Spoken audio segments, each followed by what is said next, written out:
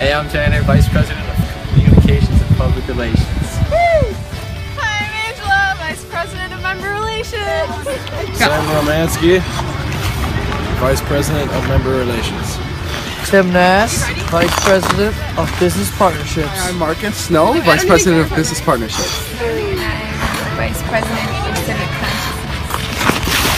Hi, I'm Kennedy Knowock, and I'm the President of Wausau East DECA program. We are the Wausau East DECA Officer Team. Jacks are back! We are so excited to have started a DECA chapter at Wausau East. We have dedicated our time to understand and become engaged with DECA's guiding principles. This year is flying by.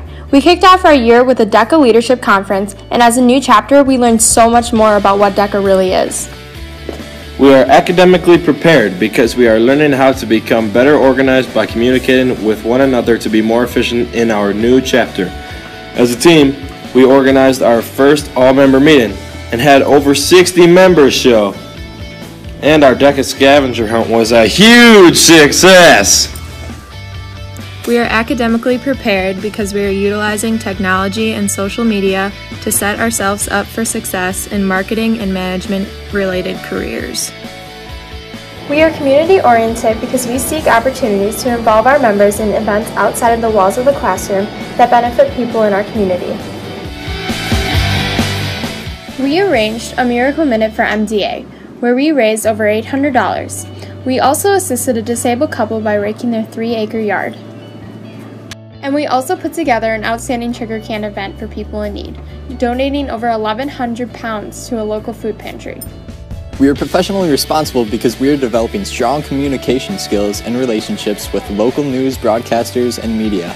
This is allowing our chapter to learn how to exchange information that will overall make Wausau East DECA known and recognized.